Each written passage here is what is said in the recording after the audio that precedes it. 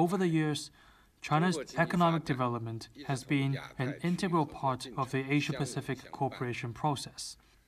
China has attained the goal of fully building a moderately prosperous society within the set time frame, secured a historic success in eradicating absolute poverty, and embarked on a new journey toward fully building itself into a modern socialist country. This will create more opportunities for our region. China will remain firm in advancing reform and opening up so as to add impetus to economic development in the Asia Pacific.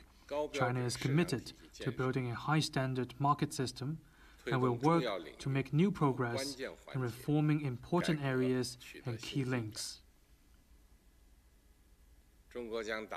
China will pursue high standard institutional opening up, continue to improve its business environment, and promote innovation driven development of pilot free trade zones.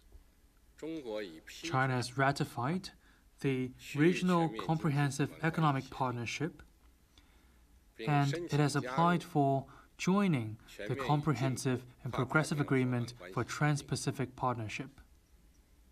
In the course of RCEP implementation and the CPTPP negotiation, China will continue to shorten the negative list on foreign investment promote all-round opening up of its agricultural and manufacturing sectors, expand the opening of the service sector, and treat domestic and foreign businesses as equals in accordance with law. As a Chinese saying goes, to get things right at the end, one needs to lay a sound foundation. To achieve a good result, one needs to be prudent from the start. Recently, the competent Chinese government departments are improving and better enforcing anti monopoly laws and regulations and strengthening regulation over some sectors. This is called for to promote the sound development of the market economy in China. As a matter of fact, it is also a common practice in other countries. We will unswervingly consolidate and develop the public sector and unswervingly encourage, support, and guide the development of the non public sector we treat all types of market entities on an equal basis. And we are working to develop a unified, open, competitive, and orderly market system. This will enable us to cement the foundation for long term development of the Chinese economy and better support businesses from both the Asia Pacific and the wider world in investing and operating in China.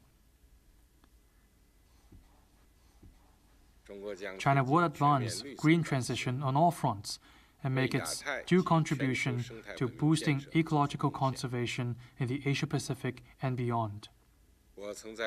For many years, I used to live in a small village on the Loess Plateau. At a time when its eco environment was undermined and its people were poverty stricken. It had come to me that harms done to nature will eventually harm ourselves. China will actively promote ecological conservation. To us, lucid waters and lush mountains are invaluable assets. We will intensify comprehensive efforts to stem soil erosion and win the critical battle of pollution prevention and control.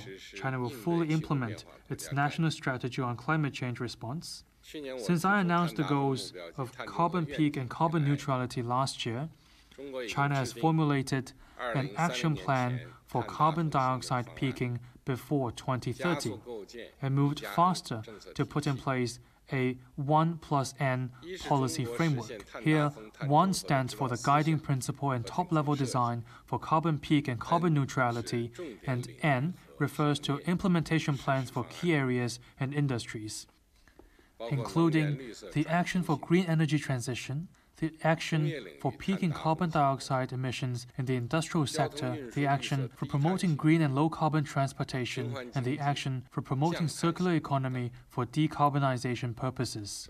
China will strike a balance between low carbon transition and ensuring the living needs of its people, and between development and carbon reduction, and will achieve carbon peak and carbon neutrality within the time frame we set. China's carbon reduction action is a profound economic and social transformation. However formidable the task may be, we will work tirelessly to make our contribution to promoting global green transition.